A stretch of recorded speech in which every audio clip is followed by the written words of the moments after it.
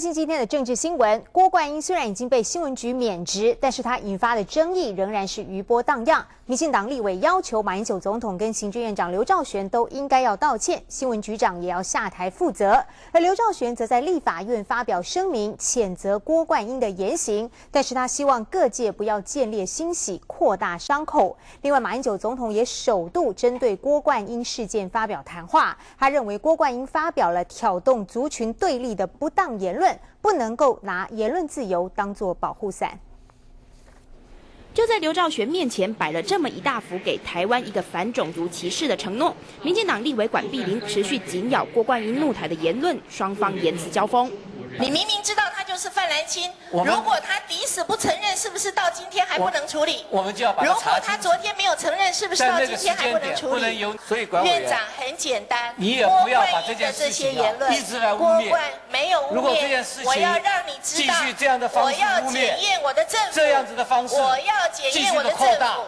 我要检验我的。刘兆玄几乎动了怒，因为原本都准备好要表达严正声明，都还没完整说出。国民党立委赶紧做球，让刘兆玄表达立场。不容许有任何这种偏激的、攻击族群的、撕裂族群的、让族群对立的这样子的言行，是大家一起出来谴责。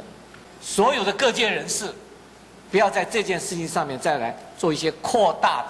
这样子的一些，我们要把它降温。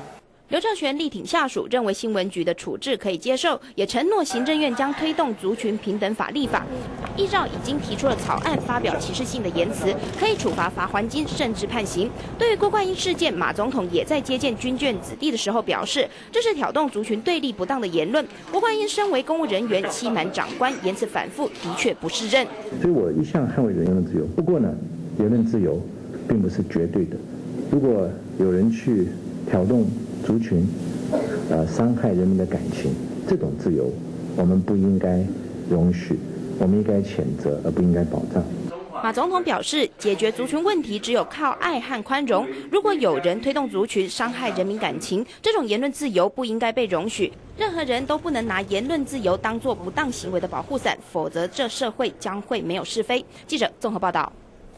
台北市大安区的立委补选在星期六就要投票，而在选前倒数四天，国民党候选人蒋乃馨打出了抢救牌，他呼吁泛蓝选民不要分裂。这项动作很明显就是冲着新党候选人姚立明而来。另外，民进党候选人周博雅也密切观察后续发展，他认为弃保效应将对选情有关键性的影响。三二八选三号，万事大吉。国民党蒋乃馨要让选民三二八记得投票，而最新的文宣更打出了弃保牌，呼吁蓝军选民不要分裂，还强调蒋乃馨才是正蓝军，挑起蓝军选民的危机意识。文宣中更打出大大的问号，质疑候选人是红党的背景，又是新党推荐，显然是冲着姚立明而来。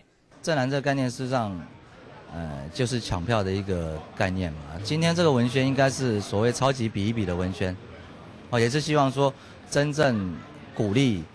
泛蓝支持选民出来投给蒋乃馨。蒋乃馨操作弃保效应的企图明显，姚立明则按照自己的选战步伐走访基层拜票。教训，对，哎，教训一次，教训一次嘛啊，要给他教训一次嘛啊。一定投你的。而且只用这样子的招数，已经用老了。哦，那单区选民根本不会因的这个原因而不投票，啊，或者来做弃保的这个投票行为，啊，所以我非常非常的笃定。啊，这样子的文宣只会有反效果。而民党周博雅则是请来柯家集的叶菊兰助选，一同站上车队扫街拜票，全力抢攻妇女票。